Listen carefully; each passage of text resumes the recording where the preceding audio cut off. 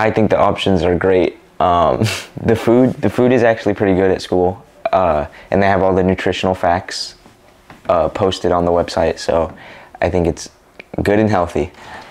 The portion sizes of the food are definitely accurate. There's plenty of food, um, so there's no reason it should cost because there's a lot of food left over and it actually gets wasted, but everybody eats.